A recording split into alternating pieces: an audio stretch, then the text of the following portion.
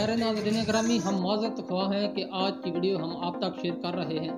क्योंकि हाशी को रोकना हमारी ज़िम्मेदारी है, माफ़ कीजिएगा। ऐसे सीन जो आपको देखने को मिले, क्योंकि चंद रोज़ गुजरा वाला में स्टेज अदाकारा खुशबू ने फाशी का बाज़ार गर्म किए रखा। सब अदाकारों को पीछे छोड़ते हुए बरमना कपड़े जेबतन करके सैकड़ों तमाशीन के सामने फाशी का डांस किया। दौरान इंटरव्यू उन्होंने जिन अल्फाज का चुनाव किया, वो आप खुद मुलाजा फरमा सकते हैं। लो नेक का, पेट नंगे। मैंने उसमें ऐसा काम नहीं, कपड़ों के बगैर। मुझे ऐसा घटिया शोत हासिल करने की ज़रूरत नहीं है। मेरे में सिर्फ़ प्यारे नाजरीन ग्रामी हम हज़रत ख्वाह हैं कि आपको इंटरव्यू पूरा नहीं दिखा सकते, क्योंकि इसमें अल्फाज का चुनाव कुछ ठीक नहीं है। गुफ्तु आपने मलाजा फरमाई। अफसोस की बात यह है कि इंतजामिया और मॉनिटरिंग टीम की मिली भगत से फहाशी और रुमानी गानों का रुझान थिएटरों में बढ़ता जा रहा है।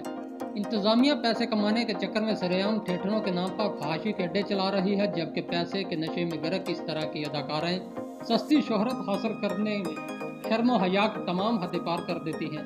ऐसी अदाकाराओं की करतूत भी लोगों के सामने आ रही है। माजी हाल में पाकिस्तानी अदाकाराओं की शर्मनाक वीडियो वायरल हुई तो फैमिलीज़ ने भी थिएटर का रुख करना छोड़ दिया। हँसी मज़ाक और शुगर मेले की आड़ में शायकीन को हाशी की तरफ़ रागब करने की इन तमाम सरगर्मियों पर हुकूमत पाकिस्तान को बर वक्त एक्शन लेना होगा।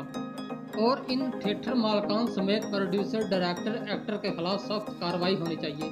जबकि दूसरी तरफ़ डायरेक्टर प्रोड्यूसर आवाम के ट्रस्ट और रुझान के मुताबिक आजकल के ड्रामों में सिर्फ़ डांस यानी मुजरे दिखाने में ज़्यादा फोकस करते हैं। क्योंकि इसके अलावा आवाम कुछ देखना ही नहीं चाहती। स्टेट ड्रामे देखने के लिए आने वाले शायक का मकसद सिर्फ़ और सिर्फ़ डांस और खूबसूरत लड़कियाँ देखना होता है। असल कसूर आवाम का है। यानी इस चीज़ से कोई मतलब नहीं कि ऐसी सोच और ऐसी फहाशी से आने वाली नस्लों पर क्या असर पड़ेगा।